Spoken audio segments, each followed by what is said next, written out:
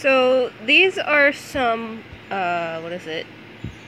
Hornworms that I ordered from rainbowmealworms.com.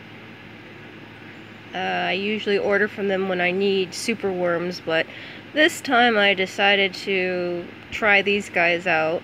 They're a little bit smaller than I thought they would be, but I'm going to let them, you know, fatten up and get bigger before I feed them to my bearded dragon.